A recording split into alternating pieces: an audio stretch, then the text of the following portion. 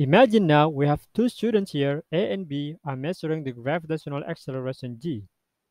The actual value of g in the surface of the Earth is approximately equal to 9.81 meters per second square.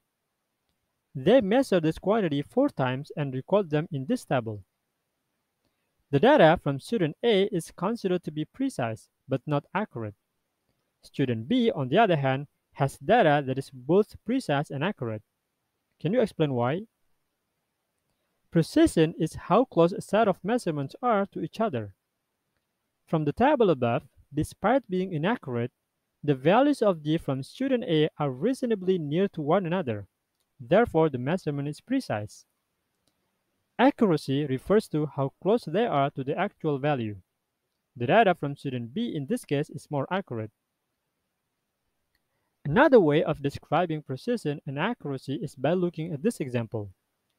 The length of this object measured using a regular ruler is said to be precise to about 0.05 centimeters. Using a cheap ruler that has scales every centimeter, the measurement becomes less precise. The reason for this is that it is difficult for the observer to estimate between the smallest deviations.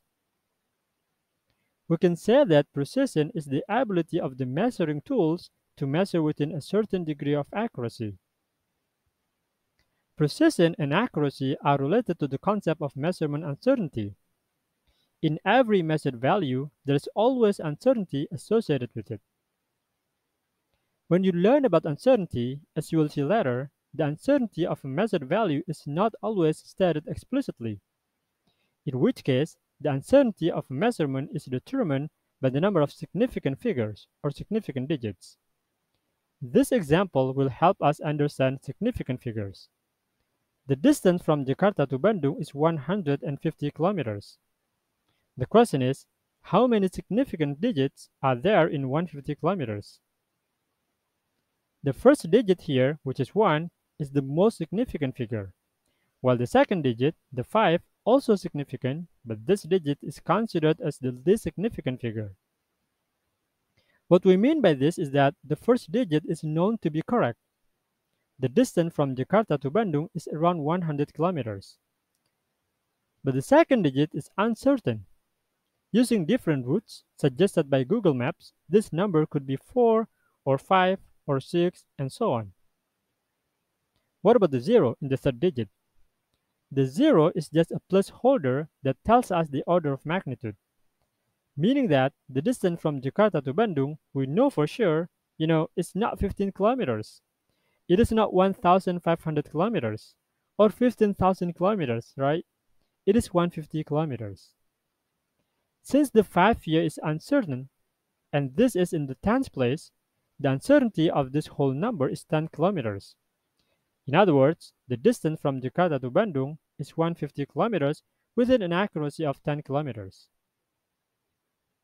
From the previous observation, here's the rules to determine the number of significant digits or significant figures in a number.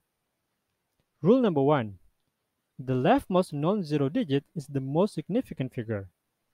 Rule number two, the rightmost digit is the least significant figure. And as far as the rightmost digit is concerned, if there is a decimal point, the rightmost zero is counted. And if there is no decimal point, the rightmost zero is not counted. Rule number three, all digits between the most significant figure and the least significant figure are also significant. Example 12.34 has four significant figures. Here, 1 is the most significant figure, while 4 is the least significant figure. And all digits in between are also significant. That's why we have 4 significant figures.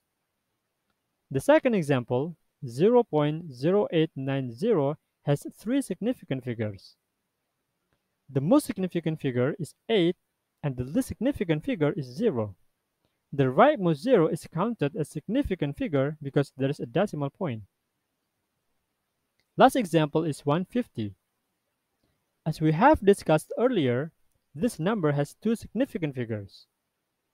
The most significant figure is 1 and the least significant figure is 5. The rightmost 0 is not counted since there is no decimal point in this number. Writing this number in scientific notation, it is obvious that this number has two significant figures. The zero has something to do with the order of magnitude.